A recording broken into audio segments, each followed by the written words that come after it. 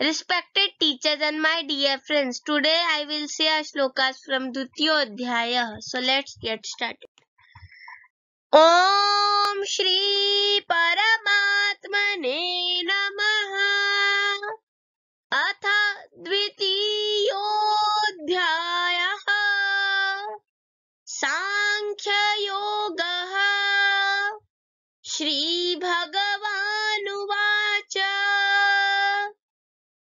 विषया विनिवर्तन्ते निराहारस्य देहिनः।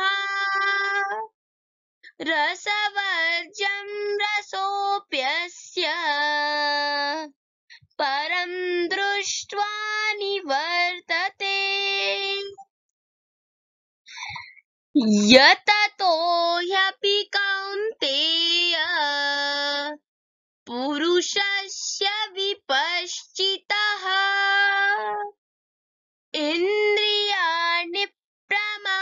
प्रमाथीनि हरन्ति प्रसभं मनः।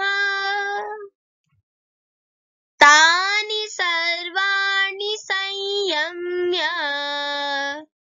युक्त आसीत मत्परः। वशे हि यस्येन्द्रियाणि। तस्य प्रज्ञा प्रतिष्ठिता।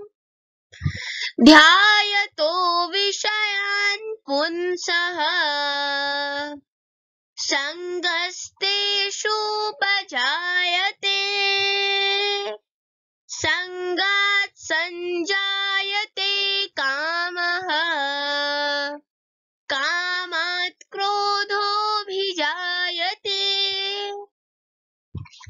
क्रोधात् भवति सम्मोहः। सम्मोहात् स्मृतिविभ्रमः। स्मृतिभ्रंशात् बुद्धिनाशः।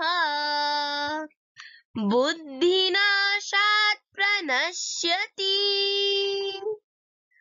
हरिः ॐ हरिः ॐ Now let's see the meaning of